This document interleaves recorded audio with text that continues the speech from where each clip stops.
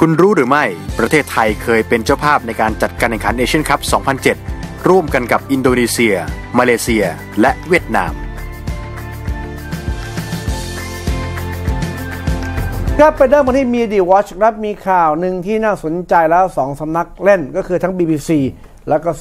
Sky Sport เป็นสื่อในอังกฤษครับ เพราะว่าเกี่ยวข้องกับนักกีฬาอังกฤษครับ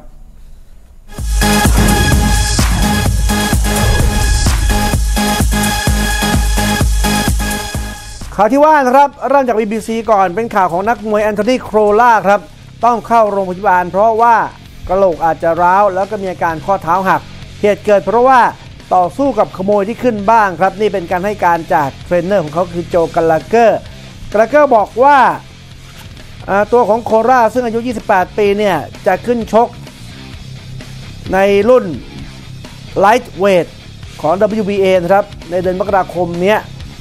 ต่อสู้กับขโมยที่ขึ้นบ้านแล้วโดนตีอาจจะเป็นเพราะว่าโดนด้วยก้อนอิฐ หรือว่าแท่งคอนกรีตครับ ใน Sky Sport ก็พูดเหมือนกัน แล้วก็ชื่นชมคอร่านครับที่ต่อสู้กับคนร้ายนะครับ แล้วก็ได้รับบาดเจ็บ ตอนนี้อาการของคอร่าเองก็ถือว่าอยู่ในขั้นทรงตัวครับ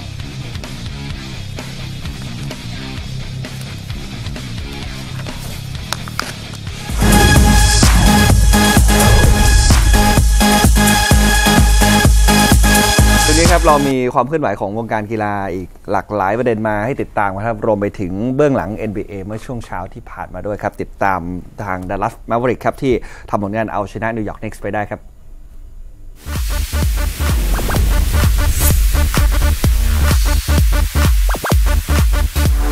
Sport World ครับ เราเริ่มจากหลังเกม NBA เมื่อเช้านี้โดยที่ไทสันแชนด์เลอร์ครับ ฉลองการกลับมาเยือนทีมเก่าของเจ้าตัวด้วยการโชว์ 3 dunkในช่วงเริ่มเกมครับ บวกกับอีก 14 rebound นอกจากนี้ยังได้ฟอร์มของเดิร์กโนวิตสกี้ ตัวเก๋าที่ทำเพิ่มอีก 16 แต้ม ก็ช่วยให้ดัลลัส Mavericks ครับ บุกมาชนะนิวยอร์กนิกส์ไปได้ขาดลอยครับ 107 ต่อ 87 คะแนน ที่สนาม Madison Square Garden เมื่อช่วงเช้าที่ผ่านมา เดิมทีนั้นแชนด์เลอร์ก็เพิ่งจะหายจากอาการบาดเจ็บที่ทำให้ต้องพักไปยาวเลยครับ เจ้าตัวตอนแรกที่คิดว่าน่าจะกลับมาลงสนามให้กับทีมนิกส์ได้ใน season นี้แต่ว่าฟิลแจ็กสันประธานสโมสรคนใหม่เนี่ยตัดสินใจไป trade ตัวเขาออกไปให้กับ Mavericks เป็นคนแรกเลยครับ หลังจากฟิลแจ็กสันเข้ามารับตำแหน่ง โดยให้เหตุผลในการปล่อยแชนด์เลอร์ออกไปอยู่กับ Mavs ว่า เป็นส่วนหนึ่งของการ ย้ายปัญหาเรื่องเคมีไม่ลงตัวจากทีมนั่นเอง ส่วนแชนด์เลอร์ที่ฟอร์มดีในเกมนี้แล้วก็นำมาชนะทีมเก่าได้เจ้าตัวบอกหลังเกมว่าไม่ได้ต้องการทำผลงานเพื่อที่จะล้างแค้นทีมเก่าแต่อย่างใดนะครับ สิ่งที่เขาคิดก็คือพยายามทำให้ปีนี้เป็นปีแห่งความสำเร็จ เขาก็รู้สึกว่าตนเองนั้นมีโอกาสในทีม Mavericks แล้วก็ต้องการช่วยทีมให้ประสบความสำเร็จให้ได้มากที่สุด ส่วนทีมนิวยอร์กนิกส์ วันนี้ได้คาร์เมโลแอนโทนีครับ ที่โชว์ฟอร์มทำโมเดลถึง 26 แต้ม แล้วก็มีทิมฮาร์ดเวย์จูเนียร์ที่แม้จะทำเพิ่มอีก 14 แต้ม แต่ก็ยังไม่ดีเท่าไหร่ ถ้าดูจากสถิติรวมที่เจ้าตัวขึ้น shoot ไปเพียง 5 ครั้ง เข้าไปแค่ 5 ครั้งจาก field goal ทั้งหมด 17 ครั้งนั่นเองนะครับ ตัวของคาร์เมโลแอนโทนีก็ก็บอกว่า พวกเขาคู่แข่งเนี่ยออกสตาร์ทได้ดีมากแต่ทีมของเขาไม่ได้เป็นอย่างนั้นเลยนะครับ ไม่ค่อยกล้าเล่นเท่าไหร่ จนแม้กระทั่งพยายามเร่งเครื่องเนี่ย แต่ก็ทำแต้มตามไม่ทันไปดู box score กันนะครับ ฝั่งเดลัสมา v ว r i c ก็มีทำแต้มเฉลี่ยกันไปไม่สูงเท่าไหร่ครับเดิร์กโนวิตสกี้ 16 คะแนน 5 rebound 5 assistมีมอนท a เอลิสครับ 14 คะแนนกับอีก 6 assist แล้วก็แชนด์เลอร์พาร์สันส์ทำไป 13 คะแนน 3 rebound 6 assist ฝั่งของนิวยอร์กนิกส์คาร์เมโลแอนโทนีครับ20 26 คะแนน 5 rebound 5 assist แล้วก็มี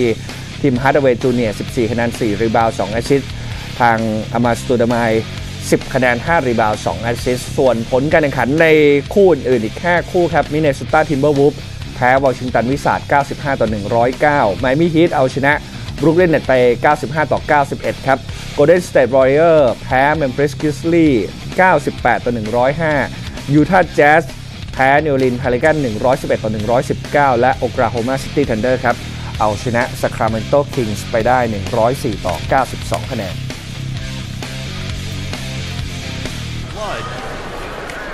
Tony Brothers has ที่ stopped บัคเลย์เซ็นเตอร์ครับสนามของบรุกลินเน็ตส์นะฮะก็มี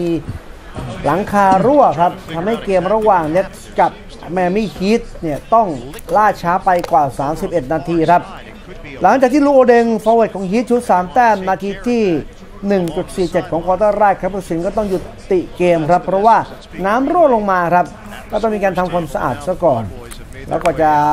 แข่งต่อไปได้ต้องพักไปถึง 31 นาทีครับ สาเหตุที่น้ำรั่วเพราะว่าฝนตกหนักมาประมาณ 1 ชั่วโมงครับ แล้วเรื่องของเกมนั้นก็ฮีทชนะไป 95 ต่อ 91 ครับ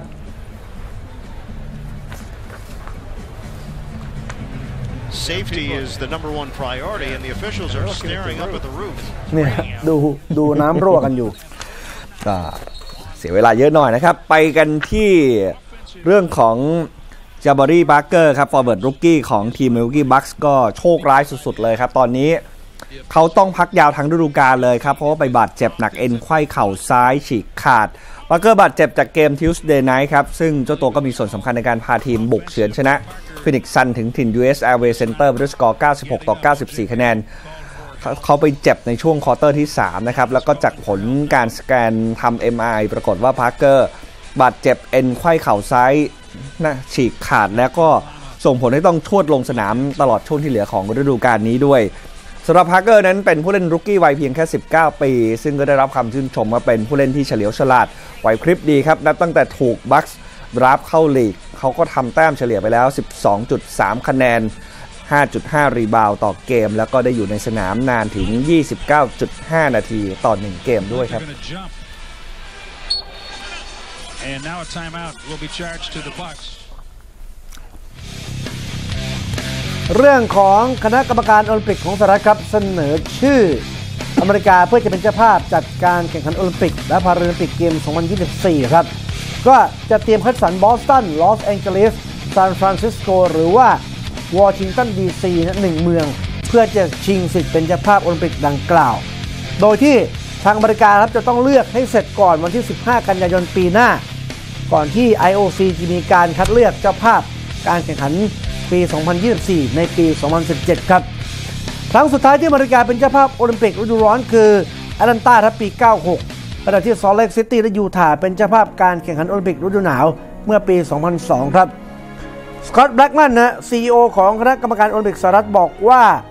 ต้องการให้คนรุ่นใหม่มีส่วนร่วมและเป็นสักขีพยานในมหกรรมกีฬาของมวลมนุษยชาติ ทั้งโอลิมปิก และพาราลิมปิกในบ้านตัวเอง ก็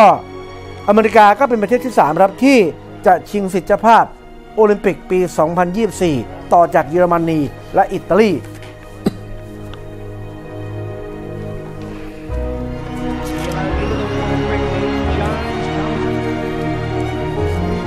คุณผู้ชมครับในในช่วงนี้นี่อย่างที่เราประชาสัมพันธ์กันมาตลอดตั้งแต่สัปดาห์ก่อนว่าในช่วงส่งท้ายปีเก่าต้อนรับปีใหม่นี้จะมี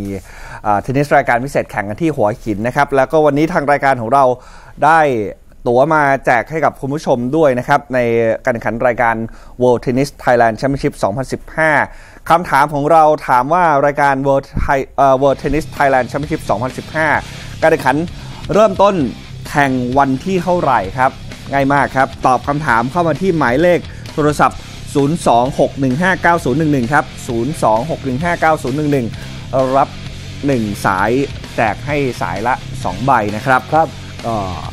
รายการนี้ก็จะมีพวกมิลอสราโอนิชฟาบิโอฟอกนินี่นักเทนนิสชายดังๆ ระดับโลก ranking สูงๆ หลายคนนะครับ ดาวิดเฟร์เรร์โทมัสเบอร์ดิชจอห์นอิสเนอร์ริชาร์ดกาสเก้ก็จะได้ชมกันด้วย ครับ เราถามว่าวันเริ่มนะฮะ เริ่มอะวันเริ่มเริ่มเมื่อไหร่ครับหนึ่งรางวัลครับครับ รางวัลละ 2 ใบ ไปรับบัตรที่หน้างานนะครับครับก็เป็นช่วงข้ามปีพอดีนะครับ ใช่ครับเป็นอะนี้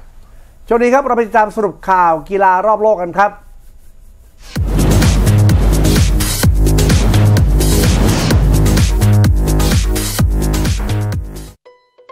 เจ้าหน้าที่ตำรวจเขตเทมส์วัลเลย์ในประเทศอังกฤษ เปิดเผยพบถ้วยรางวัลของ Red Bull ที่ถูกขโมยจากโรงงานในมิลตันคีนส์เมื่อช่วงต้นเดือนธันวาคมที่ผ่านมาจำนวน 20 ใบ ในทะเลสาบฮอร์สชู ใกล้กับเมืองแซนด์เฮิร์สต์ห่างจากโรงงานของ Red Bull ราวๆ 60 ไมล์ ในขณะที่เจ้าหน้าที่ยังคงระดมกำลังควานหาอีก 40 ใบที่เหลือกันอย่างหนักลูอิสแฮมิลตันแชมป์โลกฟอร์มูล่าวันคนล่าสุดของ Mercedes GP ยอมรับ ถูกครอบครัวเร่งให้เข้าพิธีวิวาห์กับแฟนสาวนิโคลเชอร์ซิงเกอร์ อดีตนักร้อง girl group Pussycat Doll หลังจากที่ทั้งคู่คบหาดูใจกันมานานกว่า 7 ปีโทมัสเบอร์ดิชนักเทนนิสมือเจ็ดของโลกจากสาธารณรัฐเช็ก เซตทีมโค้ชใหม่เตรียมให้แดนี่บัลเบร์ดู อดีตมือขวาของอีวานเลนเดลในสมัยที่เป็นโค้ชให้กับแอนดี้เมอร์รีย์คู่แข่งชาว British มาเป็นโค้ชส่วนตัวคนใหม่ และให้อาร์ซุสซิมซิสเป็นผู้ช่วยโค้ชสำหรับการแข่งขันในฤดูกาลหน้า ซึ่งทั้งคู่จะมารับหน้าที่แทนโทมัสครูปาที่เป็นโค้ชให้กับเบอร์ดิชมาตั้งแต่ปี 2009 และคู่หูเดวิดไวดราแอนดี้เมอร์รีย์นักเทนนิสหนุ่มมือหกของโลกจากสหราชอาณาจักร เตรียมประเดิมฤดูกาล 2015 ด้วยการลงอุ่นเครื่องในรายการมุมบาดาล่าเทนนิสเวิลด์แชมเปี้ยนชิพที่อาบูดาบีประเทศสหรัฐอาหรับเอมิเรส ในระหว่างวันที่ 1-3 มกราคมปีหน้า โดยที่ในเวลานี้เมอร์รีย์กำลังเรียกความฟิตอย่างหนักที่ไมอามีประเทศสหรัฐอเมริกา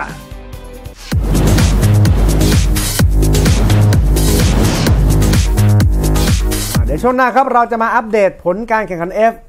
AFF ซูซูกิครับนัดชิงระหว่างไทยมาเลเซียนัดแรกครับ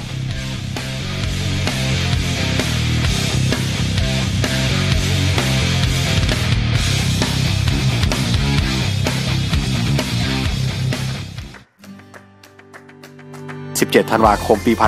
1991 คลิฟแลนด์คาวเรียสชนะแมมี่ฮีท 148 ต่อ 80 คะแนน พร้อมทิ้งกันถึง 68 คะแนน เป็นสถิติชนะห่างที่สุดของ NBA